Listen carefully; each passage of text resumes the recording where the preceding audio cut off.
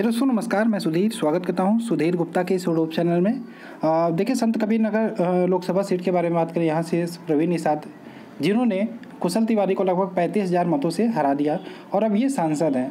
हम बात करेंगे इनके बारे में और क्या इनको मंत्रालय में जगह मिलनी चाहिए?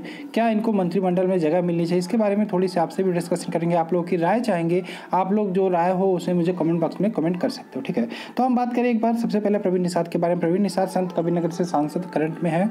और याद होगा इनका नाम तब निकल के आया तब 2018 के उपचुनाव में इन गोरखपुर से जीते और गठबंधन की तरफ़ से थे सपा, बसपा। ठीक है? और वहाँ पे इन्होंने बीजेपी के कैंडिडेट को हराया था। गोरखपुर जो बीजेपी का गढ़ माना जाता है, वहाँ पे इन्होंने गठबंधन, यानी कि गोरखपुर का जो रिकॉर्ड था, उसको तोड़ने का काम किया। उसके बाद 2019 का चुनाव आया और यहाँ पे योगी जी ने जो निषाद पार्टी थी उसको बीजेपी में विलय करा। लिया निषाद पार्टी की बात करें, डॉक्टर संजय निषाद इसके फाउंडर हैं और उन्हीं के लड़के हैं, लोग प्रवीण निषाद इंजीनियर प्रवीण निषाद बोलते हैं। और उनको गोरखपुर से चुनाव लड़ना था, लेकिन जैसे ही रवि किशन बीजेपी में शामिल हुए तो रवि किशन को गोरखपुर भेज दिया गया।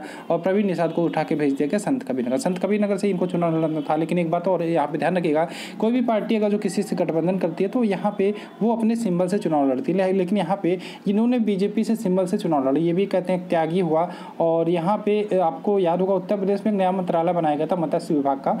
हो सकता है केंद्र में भी मंत्रालय देखने को मिले, और उसका जो प्रभार है, वो इनको दिया जाए। लेकिन यहाँ भी एक बात और है निषाद वोटर की पैठ की बात करें तो पूर्वांचल में अगर जो उत्तर प्रदेश ईस्ट में देखा जाए तो निषाद वोटरों की अच्छी खाटी अच्छी खासी पैठ है।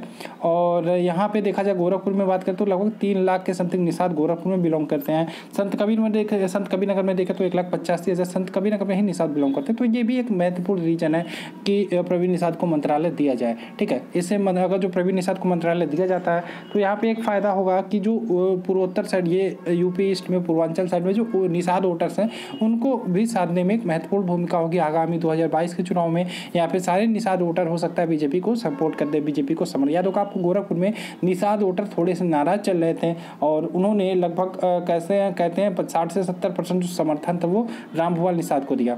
तो ये भी एक महत्वपूर्ण कारण है प्रवीण निषाद को यहाँ पे मंत्रालय मिलने का। तो देखते हैं अब जैसे ही लिस्ट आती है आपको सबसे पहले बताया जाएगा। अभी आप लोग अपना जो राय है वो लोग मुझे कमेंट करके बताइए कि क्या इनको मंत्रालय मिलना चाहिए।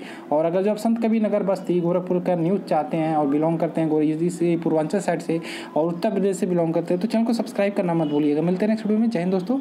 जय भारत।